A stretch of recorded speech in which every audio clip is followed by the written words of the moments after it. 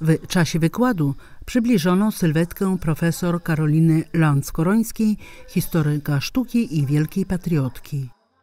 Arystokratka podczas II wojny światowej była porucznikiem Armii Krajowej. W 1942 roku została aresztowana przez gestapo i uwięziona w obozie w Ravensbrück. Po wojnie przebywała na emigracji we Włoszech. Współtworzyła Polski Instytut Historyczny w Rzymie. Poświęciła się pracy na rzecz nauki. Jak zawsze, bardzo ciekawe, dużo ciekawych osób, ale dzisiaj szczególnie. E, temat niezwykły. Postać profesor Karoliny Lanskorońskiej dla nas, dla Lwowian, jest bardzo bliska.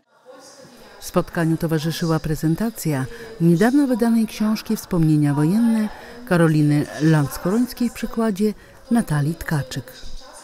Wspomnienia te mogą pełnić e, rolę terapeutyczną dla czytelnika ukraińskiego, bo e, pokazują to światełko w tunelu, że e, jednak ten dramat wojny się kończy, ale też, że można zachować człowieczeństwo w tych trudnych czasach i Karolina Lanskorońska daje ten przykład. Ja również pamiętam swoimi wspomnieniami związanymi z profesor Karoliną Lanskorońską podzielił się Piotr Pieniński, prezes Fundacji Lanskorońskich. Lwów e, był e, szczególnym miejscem dla niej. Przecież nie aż tak daleko od e, Lwowa znajduje się rozdół jej dom z dzieciństwa.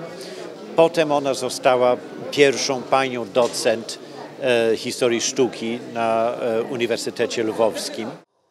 Do Lwowa na uroczystość specjalnie przyjechał też Adam Komorowski, syn generała Tadeusza Bora Komorowskiego i jednocześnie chrześniak Karoliny Lanckorońskiej. Dlaczego moja matka zaprosiła Karlę właśnie? No, już Karla była w niemieckiej niewoli i napisała do niej list, że prosi ją, żeby była matką chrzestną mojego syna Adama, że ma nadzieję, że to jej przyniesie szczęście. No i w tym ja się zdaje się popisałem, bo dożyła 104 lat. Profesor Karolina Lanckorońska przez całe życie służyła polskiej nauce i kulturze. Była też wielką patriotką. Odziedziczoną po ojcu unikatową kolekcję obrazów, jako ostatnia z rodu Lanskorońskich podarowała w 1994 roku zamkom królewskim w Krakowie i Warszawie. Przekazała również Osolineum w depozyt w czasie wojny, a później już w darze zbiór rodzinnych miniatur.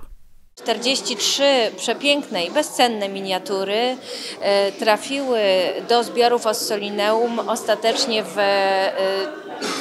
2016 e, roku, e, już po śmierci naszej darczynki, która rzeczywiście wyrażała w czasie życia taką intencję, trafiły dzięki Fundacji Lanskorońskich. Spotkania osolińskie odbywają się od 2006 roku. Są ważnym elementem współpracy Lwowskiej Naukowej Biblioteki Ukrainy imienia Wasyla Stefanika z Zakładem Narodowym imienia Osolińskich we Wrocławiu.